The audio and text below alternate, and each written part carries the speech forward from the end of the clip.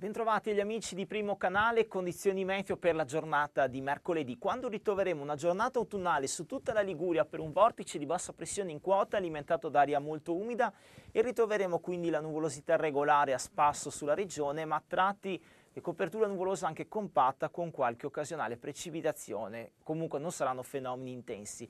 L'Imperiese con eh, nuvole irregolari in transito, anche qui però a tratti eh, compatta la nuvolosità con gocce di pioggia, locali fenomeni. E poi Savonese, medesima cosa, un contesto di grande variabilità tra delle schiarite a nuvolamenti irregolari in transito e locali piovaschi. Temperature massime sotto i 23 gradi sulla costa.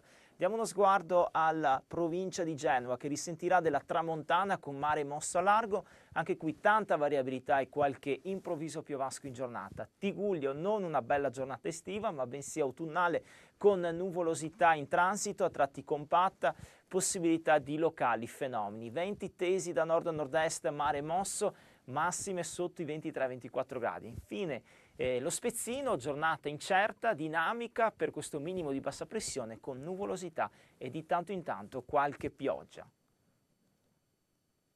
Tendenza meteo per la giornata di giovedì che vedrà ancora della variabilità sulla Liguria per il minimo di bassa pressione ancora attivo sull'Italia ma basso rischio di precipitazioni. Quindi giornata più stabile, asciutta con di tanto in tanto delle occhiate di sole. I venti da nord a nord-est. Temperature massime in lieve aumento ma sotto i 25 gradi. Ulteriore miglioramento nel weekend tornerà un po' di sole.